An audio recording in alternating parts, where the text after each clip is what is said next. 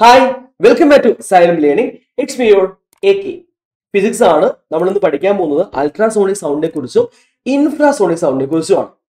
അതിനു മുമ്പേ ഞാൻ ഒരു കാര്യം പറയട്ടെ. ഒരു പക്ഷെ നിങ്ങൾക്ക് അറിയാവുന്ന കാര്യമായിരിക്കും. കുറേ വർഷം മുമ്പാണ് നമ്മുടെ നാട്ടിൽ സുനാമി ആഞ്ഞടിച്ചിരുന്നത് അല്ലെ? സുനാമി എങ്ങനെ ഉണ്ടാവുന്നത്? കടലിൽ നടക്കുന്ന ഭൂകമ്പങ്ങളുടെ ഫലമായിട്ടാണ് സുനാമി ഉണ്ടാവുന്നത്. ഒരു പക്ഷെ നിങ്ങൾ കേട്ടിട്ടുണ്ടായിരിക്കും സുനാമി ബാധിത മേഖലകളിൽ ധാരാളം മനുഷ്യന്മാർ മരിച്ചു പോയിട്ടുണ്ടെങ്കിലും അവിടെ മരിച്ചു പോയിട്ടുള്ള ജന്തുക്കളുടെ എണ്ണം വളരെ കുറവായിരുന്നു. ആ കെട്ടിയിട്ട ജന്തുക്കളൊക്കെ മരിച്ചിട്ടുള്ളത്. അല്ലാത്ത ജന്തുക്കൾക്ക് എന്തായി? അവർ ഓടി രക്ഷപ്പെട്ടു എന്നാണ് പറയപ്പെടുന്നത്. അങ്ങനെ അവർക്ക് പറ്റുമോ എന്തുകൊണ്ടാ പറ്റിയത്? എന്തൊക്കെ നമ്മൾ ഇന്ന് പറയും. സംഭവത്തിലുള്ളൂ ഭൂകമ്പം കടലിലുണ്ടായപ്പോ തന്നെ അത് ഈ ജീവികൾക്ക് തിരിച്ചറിയാൻ സാധിക്കുകയും എന്തോ ഒരു പ്രശ്നമുണ്ടെന്ന് ഇവർക്ക് ഡിറ്റക്ട് ചെയ്യാൻ പറ്റിയെന്നാ പറയുന്നത്. അവരെന്ത് ചെയ്തു? കെട്ടുപൊട്ടിച്ചും അല്ലാതെയും അവരൊക്കെ ഓടി രക്ഷപ്പെട്ടു കഴിഞ്ഞു. പൂച്ച പട്ടി അതേപോലെ ആടുകൾ പശുക്കൾ കോഴികളൊക്കെ രക്ഷപ്പെട്ടു എന്ന് പറയുന്നത്. നമുക്ക് തിരിച്ചറിയാൻ പറ്റിയില്ല അല്ലെ? അതെന്താണ് എന്നതാണ് നമ്മൾ പഠിക്കാൻ പോകുന്നത്. നമുക്ക് എല്ലാവർക്കും അറിയാവുന്ന കാര്യമാണ്. ഓട്ടിബിൾ റേഞ്ച് ഓഫ് ഹ്യൂമൺ അല്ലെങ്കിൽ മനുഷ്യന്റെ ശ്രവണ പരിധി നമുക്ക് എല്ലാ സൗണ്ടും കേൾക്കാൻ സാധിക്കില്ലല്ലോ. അതിനെപ്പറ്റി നമ്മൾ പറയാൻ പോകുന്നത് ശ്രദ്ധിച്ചോളൂ. നിങ്ങൾക്ക് എല്ലാവർക്കും അറിയാം ഇപ്പം ഞാൻ വരച്ചത് ചെവിയാണ് കേട്ടോ ചെവിയാണ്. ഈ ഭാഗം വരച്ചത് ചെവിയുടെ ഉള്ളിലേക്ക് ഇത് ഇങ്ങനെ ഒരു സംഭവം പോകുന്നുണ്ട്. ഇതിനെ കർണനാളം എന്നാണ് പറയുന്നത് അല്ലെ? വിൻഡ് സോറി കർണനാളം എന്ന് പറയുന്നു. ഇവിടെ എന്തുണ്ട്? ഇതെന്താ സംഭവം? ഇത് ഇയർ ഡ്രം അല്ലെ? ഇയർ ഡ്രം ആണ്. സോ ഈ പിന്ന ഈ പിന്ന എന്ന് പറയുന്ന ചെവിക്കൂടെ എന്ത് ചെയ്യുന്നു? ശബ്ദത്തെ നേരെ ഇങ്ങോട്ടേക്ക് കടത്തിവിടും. നേരെ എവിടേക്ക് എത്തുക? നമ്മുടെ ആ കർണപടത്തിന്റെ മുകളിൽ വീഴും. കർണപടം എന്ത് ചെയ്യും? കമ്പനം ചെയ്യും. ഈ കർണപടം വൈബ്രേറ്റ് ചെയ്യുമ്പോഴാണ് നമ്മൾ സൗണ്ട് സെൻസ് ചെയ്യുന്നത്.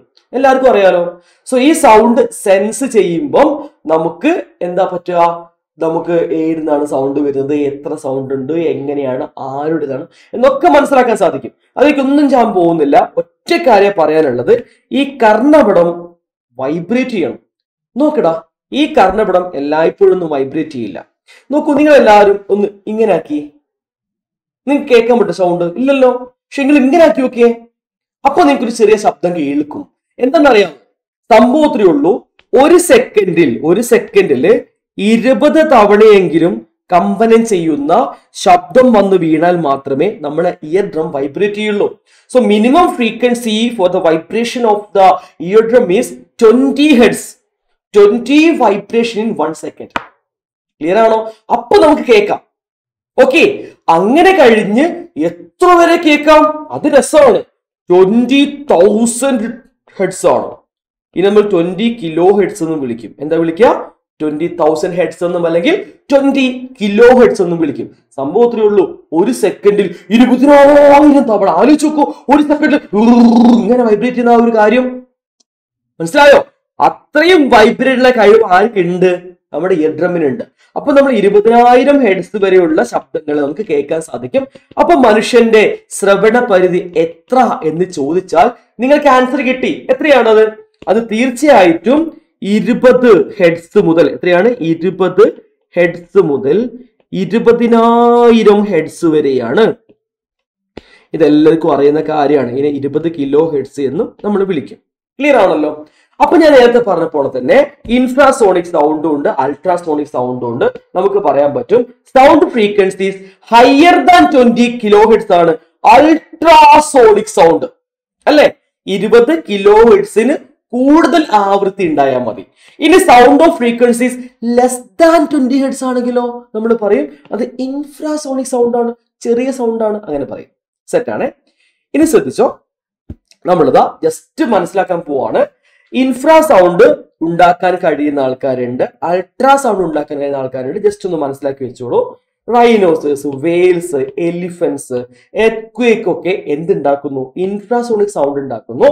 ഡോൾഫിനുകൾ ബാറ്റ്സ് റാറ്റ്സ് പോർപോയിസസ് ഒക്കെ എന്താ ഉണ്ടാക്കുന്നത്? അൾട്രാസോണിക് സൗണ്ട് ക്ലിയർ ആണല്ലോ? ഇതൊന്ന് ജസ്റ്റ് മനസ്സിലാക്കി വെച്ചോ. നമ്മൾ കൂടുതലായ ഈ സൗണ്ടിനെ പറ്റിയുള്ള കാര്യങ്ങളൊക്കെ നമ്മൾ നാളെ ക്ലാസ്സിൽ നിങ്ങളോട് പറയുന്നുണ്ട്. നാളെ എല്ലാവരും കൂടെ ഉണ്ടാവും കേട്ടോ. നാളെ കൃത്യം എത്ര മണിക്കാ? ഏഴ് ഏഴ് മുപ്പതിനാണ് നമ്മുടെ ലൈവ് വരുന്നത്. അപ്പൊ എല്ലാവരും വരണേ ലൈവിന്റെ ലിങ്ക് ഞാൻ അവിടെ കൊടുക്കുകയും ചെയ്യും. അപ്പൊ നമുക്ക് എന്താ ഇനി പഠിക്കാൻ പോകുന്നത്? നമ്മൾ ഇനി പഠിക്കാൻ പോകുന്നത് അൾട്രാസോണിക് സൗണ്ടിന്റെ ഉപയോഗങ്ങളാണ്. എന്താ പഠിക്കാൻ പോകുന്നത്? അൾട്രാസോണിക് സൗണ്ടിന്റെ ഉപയോഗങ്ങളാണ്. ഇത് ഒന്നാമത്തെ ഉപയോഗമാണ്. എന്താണ് ഉപയോഗം? Use to clean the internal parts of machineries യന്ത്രഭാഗങ്ങൾ clean ആക്കാൻ. നിങ്ങൾ നോക്കിക്കോ. ഇതാ ഇതൊരു യന്ത്രഭാഗമാണ്. ഒരു യന്ത്രത്തിന്റെ ഇതാ ഇതിന്റെ ഉള്ളിൽ ചിലപ്പം ഓയിൽ ഉണ്ടാവും ഗ്രീസ് ഉണ്ടാവും പിന്നെ പൊടിപടലങ്ങൾ ഉണ്ടാവും. ഇതൊക്കെ നമ്മൾ കൃത്യമായി വൃത്തിയാക്കി ക്ലീൻ ആക്കിയാൽ മാത്രമേ ഈ മെഷീൻ നന്നായിട്ട് വർക്ക് ചെയ്യുള്ളൂ. അല്ലേ? അല്ലാതെ വർക്ക് ചെയ്യോടാ. നന്നായിട്ട് വർക്ക് ചെയ്യണ്ടേ. അങ്ങനെ വർക്ക് ചെയ്യണേ ക്ലീൻ ആക്കണം. പക്ഷെ നമുക്ക് ഇതിന്റെ ഉള്ളിലേക്ക് ഇറങ്ങി ചെന്ന് നമ്മുടെ കയ്യൊക്കെ ഇട്ട് ക്ലീൻ ആക്കാൻ പറ്റും. പറ്റൂലടാ. അപ്പൊ നമ്മൾ എന്താ ചെയ്യാൻ അറിയാം ഇതേപോലെ ഒരു വെള്ളം ഒരു വെള്ളം ടാങ്ക് എടുക്കും. ഈ ടാങ്ക് നിറയെ വെള്ളം എടുത്തിട്ട് ഈ വെള്ളത്തിൽ സോപ്പ് സൊല്യൂഷനോ അല്ലെങ്കിൽ ഡിറ്റർജൻസോ കലക്കും. എന്നിട്ട് ഇതിലൂടെ എന്താ വിടുക എന്നറിയോ? ഇതിലൂടെ അൾട്രാസോണിക് സൗണ്ടിനായിട്ട് വിടും. എന്താ അൾട്രാസോണിക് സൗണ്ട് എന്ന് പറഞ്ഞാൽ? ഇവർ ഇങ്ങനെ ഒരു സെക്കൻഡിൽ ഇവരോട് കമ്പ വൈബ്രേറ്റ് ചെയ്യൂലേ? അപ്പൊ ഈ വെള്ളം എന്ത് ചെയ്യും? വെള്ളം ഇങ്ങനെ വൈബ്രേറ്റ് ചെയ്യുന്നുള്ളിൽ കൂടി. അല്ലേ? അപ്പൊ ഇതിന്റെ ഉള്ളിൽ നിന്ന് ശരിക്കും പറഞ്ഞാൽ നല്ല തിരയിളക്കം പോലെയുള്ള വൈബ്രേഷന്റെ ഉള്ളിൽ ഉള്ളിലൊക്കെ വെള്ളം കയറൂലടാ. അപ്പൊ എന്ത് സംഭവിക്കും? ആ വെള്ളത്തിന്റെ ഉള്ളിലേക്ക് എന്ത് വരും? എന്ത് വരും?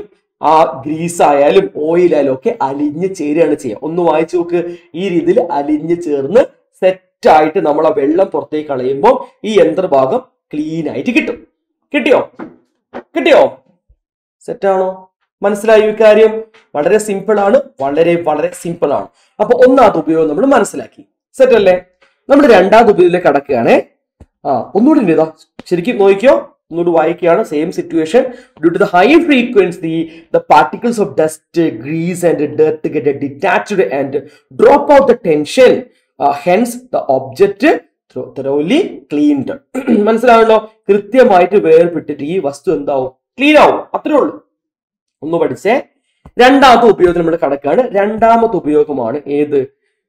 Used to detect cracks and flaws in metal blocks അതായത് ലോഹഭാഗങ്ങൾക്കുള്ളിലെ പൊട്ടലുകളും വിള്ളലുകളും നമ്മൾ കണ്ടെത്താൻ വേണ്ടി ആരുപയോഗിക്കുന്നുണ്ട് അൾട്രാസോണിക് സൗണ്ട് അതെങ്ങനെയാ? നമ്മൾ നോക്കിയേ നമ്മളിതാ വലിയ കോൺക്രീറ്റ് കെട്ടിടങ്ങളും അതേപോലെ തന്നെ വലിയ പില്ലറുകളൊക്കെ ഉണ്ടാക്കുക. ഒന്നെങ്കിൽ കോൺക്രീറ്റ് കൊണ്ട് അല്ലെ മെറ്റാലിക് ബ്ലോക്ക് കൊണ്ടായിരിക്കും അല്ലെ? നോക്കൂ ഈ ഒരു മെറ്റാലിക് ബ്ലോക്കിന്റെ ഉള്ളിൽ ഇതാ ഈ ഒരു ബ്ലോക്ക് ഈ ഒരു ബ്ലോക്കിനെ പറ്റി ആലോചിച്ചോ ഈ ഒരു ബ്ലോക്ക് ഈ ഒരു ബ്ലോക്കിനോ അല്ലെങ്കിൽ ഇവിടെയുള്ള ബ്ലോക്കിനോ ഒക്കെ ചെറിയ വിള്ളൽ ഇതിന്റെ ഉള്ളിൽ ഉണ്ടായി വിചാരിക്കും. എന്താ സംഭവിക്കുക കാലക്രമേണ ആ വിള്ളൽ കൂടി കൂടി വന്ന് ഈ ബിൽഡിംഗ് തന്നെ നിലത്ത് വീഴാനുള്ള ചാൻസ് ഉണ്ടല്ലോ. നമുക്കൊരു മെറ്റാലിക് ബ്ലോക്ക് ഇതൊരു മെറ്റാലിക് ബ്ലോക്ക് ആണ് കേട്ടോ ഈ മെറ്റാലിക് ബ്ലോക്കിന്റെ ഉൾവശം നമുക്ക് കാണാൻ സാധിക്കുമോ പറ്റുമോ ഇല്ലല്ലോ. ഇതിന്റെ ഉള്ളിലാണെങ്കിൽ നമുക്ക് ഒരിക്കലും കണ്ടുപിടിക്കാൻ പറ്റൂല. ഇതിന്റെ മുകളിലേക്ക് വീണ്ടും വീണ്ടും നമ്മൾ ഇങ്ങനെ വെച്ച് ബിൽഡിംഗ് ഉണ്ടായി കൊണ്ടുവന്നു കഴിഞ്ഞാൽ ഈ ക്രാക്ക് വലുതായിട്ട് എന്ത് ചെയ്യും? ആ ഭാഗം പൊട്ടിപ്പോവാൻ ചാൻസ് ഉണ്ട്. അപ്പൊ അത് കണ്ടുപിടിക്കാൻ നമ്മൾ എന്താ ചെയ്യാം? അത് കണ്ടുപിടിക്കാൻ നമ്മൾ ആര് ഉപയോഗിക്കുന്നുണ്ട്? അൾട്രാസോണിക് സൗണ്ടിനെ ജസ്റ്റ് ഒന്ന് വായിച്ചു നോക്കിക്കോ. Metallic components are generally used in construction of big structures like buildings bridges machines and scientific equipments അതായത് ഒരുപാട് കാര്യങ്ങൾ ഉണ്ടാക്കാൻ നമ്മൾ ആര് ഉപയോഗിക്കുന്നുണ്ട്? മെറ്റാലിക് സ്ട്രക്ചേഴ്സും അതേപോലെ തന്നെ ഇതേപോലെ കോൺക്രീറ്റ് സ്ട്രക്ചറും ഉപയോഗിക്കുന്നുണ്ട്. സെറ്റ് ആണല്ലോ. ഇനി നിങ്ങൾ ഇത്ര ആലോചിച്ചാൽ മതി. ലോഹ ബ്ലോക്കുകൾക്കിടയിൽ വിള്ളലുകളോ ദ്വാരങ്ങളോ ഒക്കെ ഉണ്ടെങ്കിൽ പുറത്തുനിന്ന് കാണാൻ പറ്റൂല. ഉള്ളിൽ അത് ഉണ്ടാവുകയും ചെയ്യും. അത് ഘടനയുടെ ശക്തി എന്താക്കും? കുറയ്ക്കും. കിട്ടിയോ? കൃത്യമായിട്ട് നിങ്ങൾ വായിച്ച് മനസ്സിലാക്കണം. ക്ലിയർ ആണല്ലോ? ഓക്കെ ഇനി ശ്രദ്ധിച്ചോ? ഇത് എങ്ങനെ നമ്മൾ ഡിറ്റക്ട് ചെയ്ത് ഇനി പറയാൻ പോകുന്നത്. സംഭവത്തിലേ ഉള്ളൂ. അൾട്രാസോണിക് തരംഗങ്ങൾ ലോഹ ബ്ലോക്കിലൂടെ കടന്നു പോകാൻ അനുവദിക്കും. കണ്ടോ? കണ്ടോ? ഇങ്ങനെ സുഖമായിട്ട് ഒരു പ്രശ്നവും ഇല്ലെങ്കിൽ സുഖമായിട്ട് കടന്നു. അങ്ങനെ നേരെ ഇപ്പുറത്ത് ഡിറ്റക്ടേഴ്സ് വെച്ചിട്ടുണ്ടായിരിക്കും. നേരെ ഇവിടെ എത്തും. അപ്പൊ ഒരു പ്രശ്നവും ഇല്ലാതെ ഇവിടെ എത്തുകയാണെങ്കിൽ ആ മെറ്റാലിക് ബ്ലോക്ക് അല്ലെങ്കിൽ ആ കോൺക്രീറ്റ് ബ്ലോക്ക് സൂപ്പറാ ഒരു കുഴപ്പമില്ല പക്ഷെ അതേ സമയത്ത് ഇവിടെ ചെറിയ ഒരു ഫ്ലോസ് ഉണ്ട് വിചാരിക്കും ചെറിയൊരു പ്രശ്നം ഇതിനുള്ളിൽ ഉണ്ട് വിചാരിക്കും എന്താ സംഭവിക്കുന്ന അറിയോ?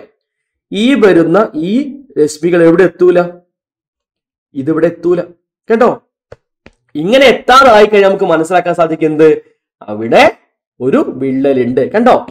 There is an even a small defect the ultrasound gets reflected back ഇത് തിരിച്ച് തിരിച്ചങ്ങ് പോവും.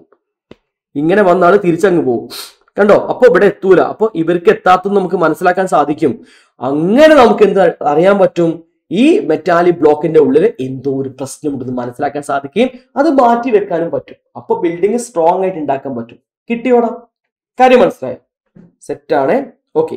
ഇനി നമുക്ക് അടുത്ത ഉപയോഗത്തിലേക്ക് അടക്കാം നമ്മുടെ മൂന്നാമത്തെ ഉപയോഗമാണ് എക്കോ കാർഡിയോഗ്രാഫി എന്ന് പറയും. എന്താ പറയാ? എക്കോ കാർഡിയോഗ്രാഫി നിങ്ങൾ എക്കോ എടുക്കാന്ന് കേട്ടിട്ടുണ്ടായിരിക്കും. എല്ലാവരും കേട്ടതാ. ചിലപ്പോൾ നമ്മുടെ വീട്ടിൽ തന്നെയുള്ള പല ആൾക്കാർക്കും ചിലപ്പോൾ എക്കോ എടുത്തിട്ടുണ്ടാവും. ഇ സി ജിയിൽ വേരിയേഷൻ ഒക്കെ വന്നാൽ നമ്മൾ എന്ത് ചെയ്യും? ചിലപ്പോൾ ഡോക്ടർ പറയും ഒന്ന് എക്കോ എടുത്ത് നോക്കണം. ആ അങ്ങനെ പറയും. ഇതാണ് സംഭവം. നമ്മുടെ ഹൃദയത്തിന്റെ ചിത്രം എടുക്കുന്ന സംഭവമാണ്.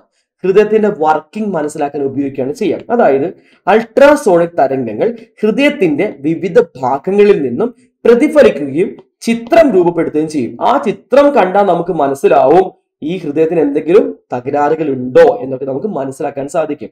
ഇതൊരു സ്ക്രീനിൽ കൃത്യമായിട്ട് മനസ്സിലാക്കാൻ ചെയ്യാം. അതായത് ഹൃദയത്തിന്റെ വർക്കിംഗ് നമുക്ക് മനസ്സിലാക്കാൻ ഉപയോഗിക്കുന്ന ഒരു ടെക്നിക്കാണ് എന്ത് എക്കോ കാർഡിയോഗ്രാഫി നമ്മൾ ഈ ഭാഗത്തേക്ക് എന്താ വിടുന്നത്? അൾട്രാസോണിക് സൗണ്ട് ആണ് വിടുക. നേരെ പോയി ഹൃദയ ഭിത്തിയിൽ തട്ടി തിരിച്ചു വരും. നോക്കൂ ഇവിടെ നമുക്ക് ഇറച്ചിയാണ് ഫ്ലഷ് ആണ് അല്ലെ?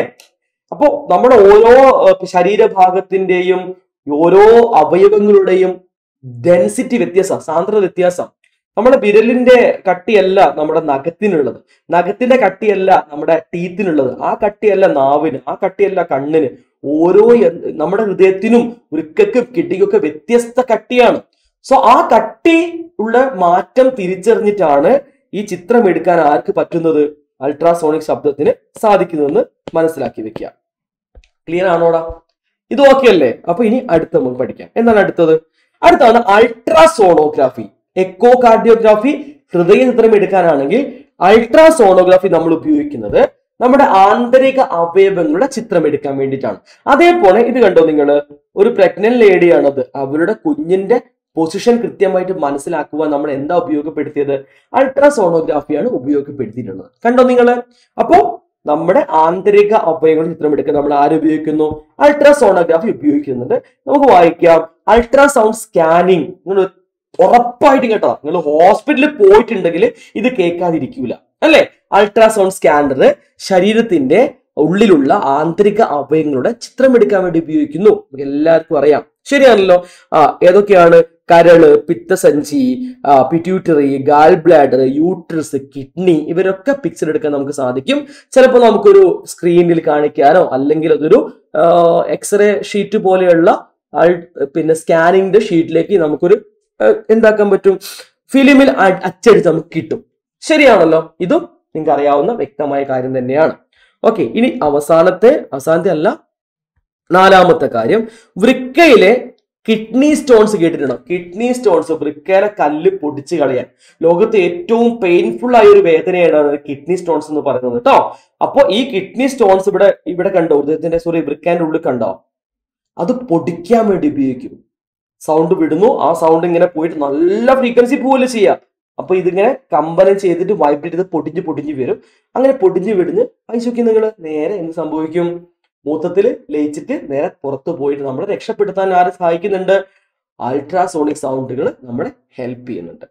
അടുത്തതാണ് എന്ത്? അവസാനത്തത് അവസാനത്തെ ഉപയോഗം സോണാർ സോണാർ എന്ന് പറഞ്ഞാൽ സൗണ്ട് നാവിഗേഷൻ ആണ് ഇതിന്റെ അർത്ഥം വരുന്നത്. ജസ്റ്റ് മനസ്സിലാക്കിയാൽ മതി. ഇവിടെ നിങ്ങൾ കണ്ടോ? ആ ഒരു ഷിപ്പിലേക്ക് നോക്കിയേ. ഷിപ്പിൽ നിന്നും കണ്ടോ? സൗണ്ട് ഇങ്ങനെ പോകുന്നു തിരിച്ചു വരുന്നു. കണ്ടോ? അങ്ങനെ താഴോട്ടേക്ക് പോയി തിരിച്ചു വരുന്ന ആ ഒരു സമയം നമ്മൾ രേഖപ്പെടുത്തി വെക്കും. അപ്പൊ എത്ര സമയം കൊണ്ടാണ് താഴെ പോയി തിരിച്ചു വന്നത്? ശബ്ദവേഗത നമുക്ക് വെള്ളത്തിൽ കൂടുതൽ അറിയാൻ സാധിക്കും. ഓക്കെ അപ്പൊ എത്ര സമയം നോക്കും? അപ്പൊ നമുക്ക് ആ സമയം കിട്ടി സമയവും കിട്ടുന്നു. അതേപോലെ എത്ര പിന്നെ വേഗതയിലാണ് ഇത് പോയി വന്നത് നമുക്ക് അറിയാൻ ഫ്രീക്വൻസി നമുക്ക് അറിയാൻ പറ്റുന്നു. സോറി വെലോസിറ്റി നമുക്ക് അറിയാൻ പറ്റുന്നു. ഇത് രണ്ടും ഉപയോഗിച്ച് നമുക്ക് ആഴം അളക്കാൻ സാധിക്കും. കേട്ടോ?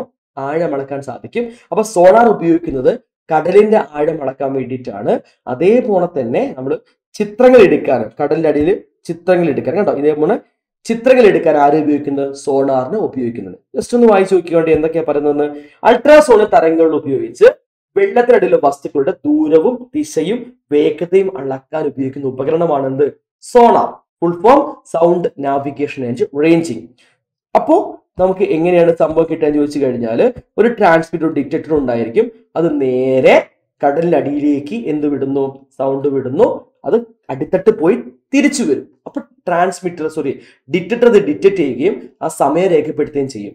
ആ സമയം നമ്മൾ മനസ്സിലാക്കുന്നു. ശബ്ദത്തിന് ആ വെള്ളത്തിൽ കൂടിയുള്ള പ്രവേഗം നമ്മൾ മനസ്സിലാക്കുന്നു. നേരെ വെലോസിറ്റി ഡിസ്റ്റൻസ് ബൈ ടൈം ആണ്. അല്ലെ?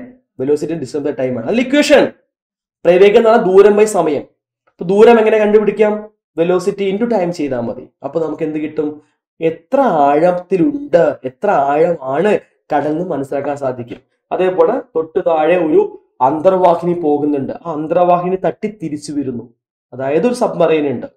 അപ്പൊ സബ്മറൈൻ എത്ര ആഴത്തിലാണ് അത് എങ്ങോട്ടേക്ക് പോകും അങ്ങനെ ചിത്രങ്ങൾ വരെ എടുക്കാൻ ആരെ കൊണ്ട് സാധിക്കും സോണാരെ കൊണ്ട് പറ്റും. സോ ഇത്രയും ഉപയോഗങ്ങളാണ് ആർക്കുള്ളത് അൾട്രാസോണിക് സൗണ്ടിനുള്ളത് മനുഷ്യ ജീവിതത്തിൽ ഒരുപാട് ഉപയോഗങ്ങൾ ആരാണ് ആര്? അൾട്രാസോണിക് സൗണ്ട് കേട്ടോ കൃത്യമായിട്ട് പഠിച്ചു വെക്കുക. നോക്കൂ നമുക്ക് നാളെ ഒരുപാട് കാര്യം സംസാരിക്കാനുണ്ട്. നാളെ ലൈവിൽ എല്ലാവരും വരണം. ഫ്രണ്ട്സിനെ കൂട്ടി വരണം. ലൈവിന്റെ ലിങ്ക് അവിടെ പിൻ ചെയ്ത് വെക്കുന്നുണ്ട്. എല്ലാവരും വരണേ. നമുക്ക് അടിച്ചു പൊളിച്ച് പഠിക്കാം. സോ നാളെ കാണാം. Tata bye